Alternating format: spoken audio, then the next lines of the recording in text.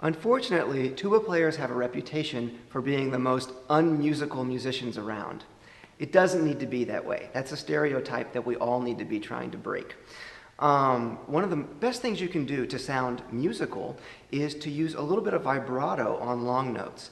And this etude gives us that opportunity in a couple of places. You don't have to do it, but if you want to, you can.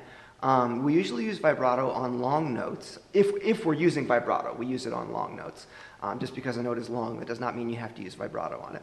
But if you want to add a little extra color or extra expression or personality to a cantabile phrase, you might pick one of the longer notes in the phrase and add some vibrato to it, like the dotted half note in bar 20 or the dotted half note with the fermata in bar 28. That, that one with the fermata is, is, a, is a great candidate for vibrato, because otherwise you're just kind of holding this note for a long time, and it could maybe get boring. Um, so to keep that note interesting and keep it expressive, you might put a little vibrato on it. So anyways, how the heck do we play with vibrato? Um, there are a few different ways that a brass player can play with vibrato. I'm going to talk about uh, the most basic kind. And I call this the most basic kind because it doesn't affect how you're sending your air. What I'm talking about is jaw vibrato.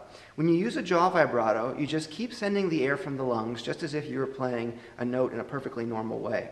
The thing that you change is you move your jaw up and down a little bit. And as you move your jaw up, it will raise the pitch a little bit and maybe make the note a little more intense, maybe a little louder. And as you bring the jaw down, it will lower the pitch just a little bit and maybe relax the note a little bit.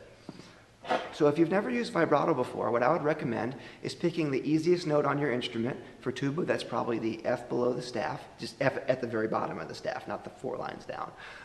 But um, so for tuba, pick the note right at, at the bottom of the staff. Um, on bass trombone, and I'm going to play the note in the middle of the staff, the F. play a note with a nice straight sound first to establish a good sound, and then experiment with a little bit of jaw vibrato.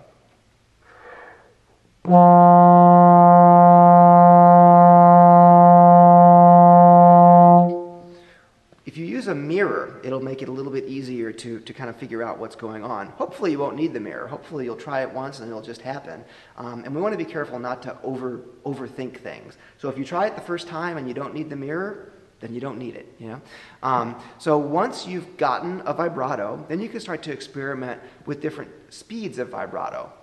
There can be a fast kind of vibrato that uh, sometimes we hear like British euphonium players play with, kind of like.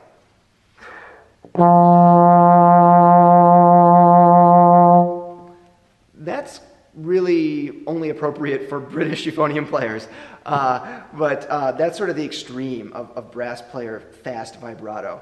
Um, as far as uh, what I think we want in, in this piece is more of a nice cantabile that, that a string bass player might play with. If, you, uh, if you've ever seen a string bass player play before, I'm not sure if you can see my hand. Here, we go.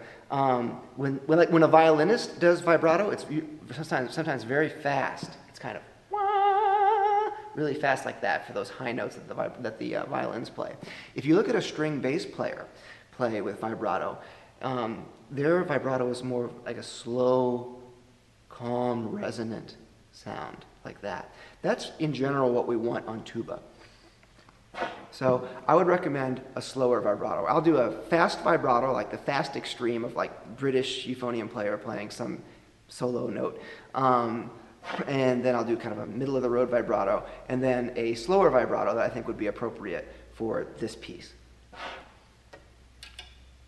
And I, I adjust it all by the speed at which I move my jaw. So here's the fast vibrato.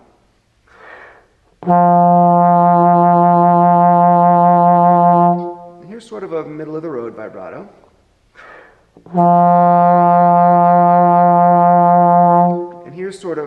The, the other extreme if you're trying to really, really milk a note with a fermata on it, like a really rich tuba note.